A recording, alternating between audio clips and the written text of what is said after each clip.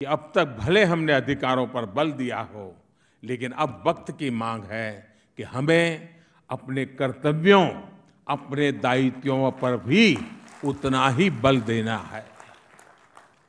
ये बात मैं इसलिए कह रहा हूँ क्योंकि यूपी में जिस तरह कुछ लोगों ने विरोध प्रदर्शन के नाम पर हिंसा की, सरकारी संपत्ति को नुकसान पहुँचाया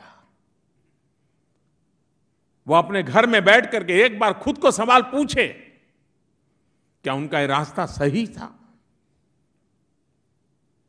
उनकी प्रवृत्ति योग्य थी? ये जो कुछ जलाया गया, बर्बाद किया गया, क्या वो उनके बच्चों को काम आने वाला नहीं था? इस प्रदर्शन में, हिंसा में जिन लोगों की मृत्यु हुई, जो सामान्य नागरिक जख्मी हुए जो पुलिस वाले जख्मी हुए उनके और उनके परिवार के लोगों के प्रति पल भर हम सोचे क्या बीतती होगी?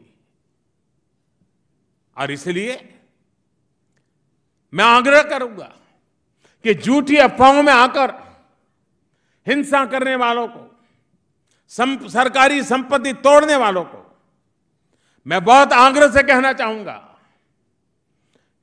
कि बेहतर सड़क, बेहतर ट्रांसपोर्ट सिस्टम, उत्तम सिवर लाइन नागरिकों का हक है।